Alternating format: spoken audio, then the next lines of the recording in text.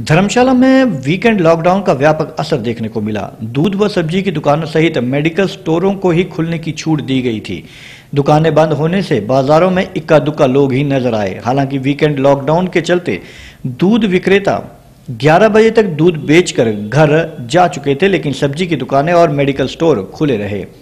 सब्ज़ी की दुकानों में ग्राहक न आने के चलते सब्ज़ी विक्रेताओं का कहना था कि प्रशासन द्वारा उनकी सब्ज़ी खोलने का समय निर्धारित किया जाए, जिससे कि वे कारोबार न होने के बावजूद उन्हें दुकानों पर बैठने पर मजबूर न होना पड़े।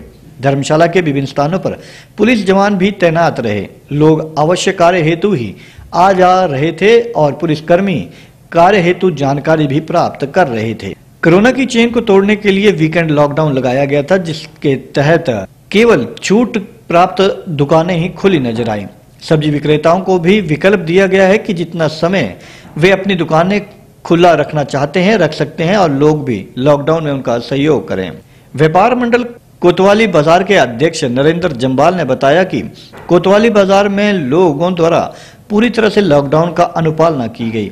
दूध विक्रेता 11 बजे तक दूध बेच रहे थे और मेडिकल स्टोर दिन भर खुले रहे, वहीं सब्ज़ी विक्रेता भी ग्राहक न आने के चलते कम समय तक ही अपनी दुकानें खोलते नज़र आए। उन्होंने कहा कि आदेशों के अनुसार लोग घरों से बाहर नहीं निकल रहे हैं। और जैसे आपने प्रश्न किया कि लॉकडाउन जो दो दिन का लगाया गया है, इसमें व्यापारी वर्ग पूरा प्रशासन के साथ है। और आप देख देख सकते हैं कि इस टाइम जो दूध के हमने टाइम रखा था, वैसे प्रशासन ने दूध के टाइम रखा था सुबह से लेकर शाम तक का।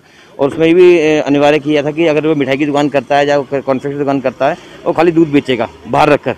क्योंकि छोटा सा शहर है और यहाँ हर मल्टी दुकानें होती हैं तो प्रॉपर दूध अकेला नहीं बेच सकता।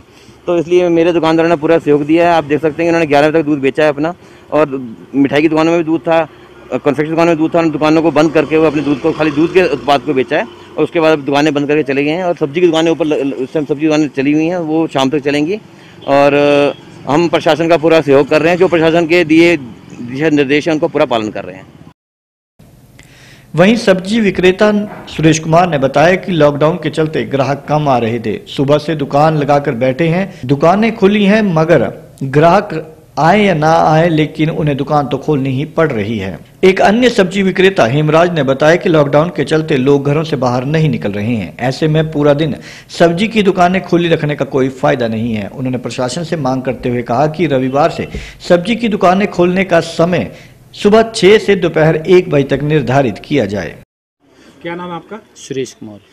जिस तरह से आज जो वीकेंड लॉकडाउन लगाया गया है, सब्ज़ी विक्रेताओं को छूट दी गई है दुकानें खोलने की, किस तरह की देखते हैं कि ग्राहकों का आगमन कैसा है?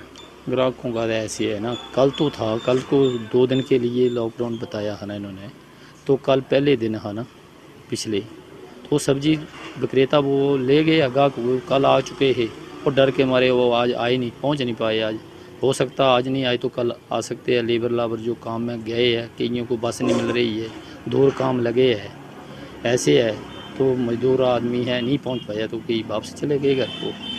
तो सब्ज़ी तो कल ख़रीद कर ले गए तो आज नहीं आएँगे तो कल आ सकते हैं ऐसे है।